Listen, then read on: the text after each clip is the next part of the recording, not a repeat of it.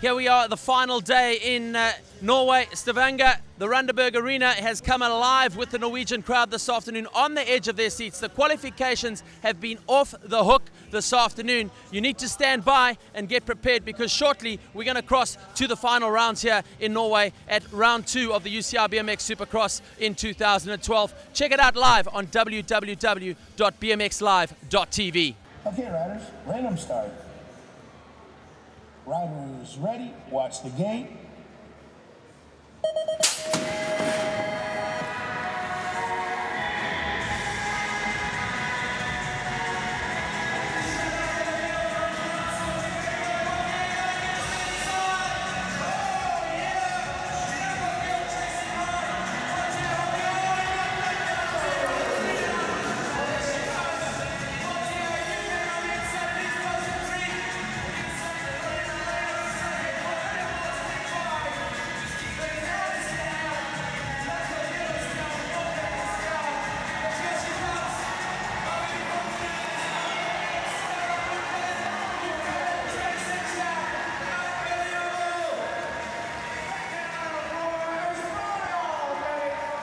Caroline Buchanan, what a fantastic race. You really got that sprint together at the right moment there, coming past Magalie Pottier in the finish line. Tell us about the race. Um, it was pretty crazy. I felt like I got out good.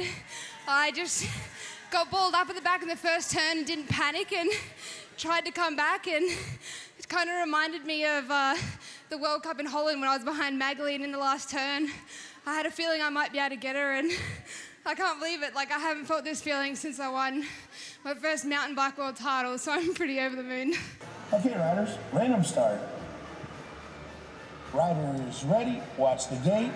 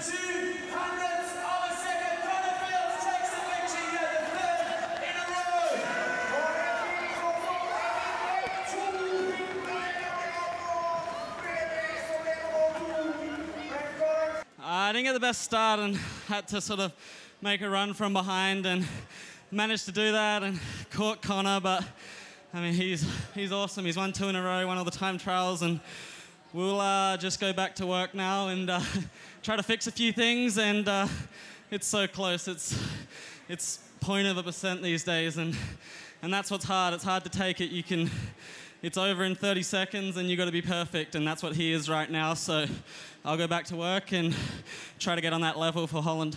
Yeah, you know, today was an awesome race. Sam's a really nice guy, one of my good friends, and an awesome competitor. You know, you know, he's gonna give 100% of everything he has every time, and I'm, I'm so tired right now. I was everything I had right there, and you know, I wasn't even, well, I can't even stand. I wasn't even frustrated at the line if he would have passed me because I know that I gave it everything I had.